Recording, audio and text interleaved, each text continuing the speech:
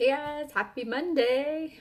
It's late today for me and also the inspiration of my little short Monday motivation video today. So, um, I was going to talk about how to turn it around at any given point. Um, we all have bad mornings, bad days. Um, we all dread Monday. Um, I'm guilty of it myself, even though I try to go in a different direction sometimes. Um, but just because your day starts badly doesn't mean it has to continue that way or end that way. You have the power and the ability to turn it around at any given point. Let me give you an example of my day this morning. So um, usually I'm on it. Um, you know, I get up at 5:30, maybe 5:45 every morning and go for a walk. Um, I start my day ahead of my house. I get things in order. I wake up peacefully, like all that Zen stuff. Um, and I didn't do it today. So I didn't necessarily do it on purpose, but I think I turned my alarm off. Like I hit, sometimes I'll hit the snooze just out of reflex before I even know I do it. And I think I actually turned it off. And I woke up this morning at seven something, and it was probably six something the first time, with my oldest son climbing into bed. That's what I try to avoid every morning is using my kids as my alarm clock. That was my motivation for starting to wake up so freaking early, is to get some me time. So that's how it started. And it was so cozy and warm when it was freezing in the room that I didn't get out of the covers. I started off really slowly. Um, I was a big hot mess. My husband took the kids to daycare, which he normally does in the morning anyway.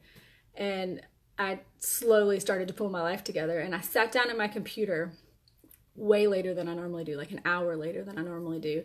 And it was like 8:25 and then I pull up my calendar and I see I have an appointment on the other side of Raleigh which without traffic is like 45 minutes away at 8:45. Luckily it was not a work appointment. Luckily it was a car appointment. But what a jerk I am that I had to email the people to let them know I can't make it today. I didn't tell them why because I didn't want to lie about it, but had to cancel an appointment before I even started. And so, you know, my day started off roughly. Could have been way worse, let's be honest.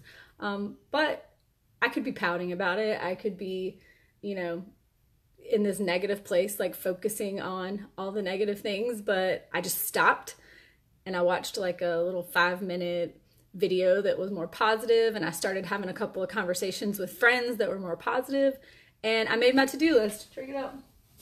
I always do this every single morning. Um, I started I should say I started it, but I, I make a list.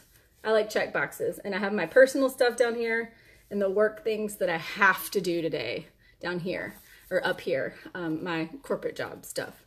And if it's on this list, it gets done because I like checking off boxes. So I started there and I'm like, okay, I know what to do with my day now. but you know, it could have it could have been just like really sour. Some people, and even me in the past, I used to like be like, the day's screwed now. May as well start over tomorrow and, you know, do whatever I want to today or be lazy or whatever it is. But you have the ability at any given point to just stop whatever's going on and be like, no, no, no, this isn't the way my day is going to go. I'm going to turn it around completely. Find some positive people to talk to, find some positive things to listen to, to read, to whatever, and just, you know, focus there. Um, but I don't know, that's what I was going to say because my example of this morning was not a great start to the week, to the day, to anything. And it was of my own doing. Happens to me too. Um, I'm going to do better tomorrow, but I'm not just going to do better tomorrow. I'm going to do better right freaking now.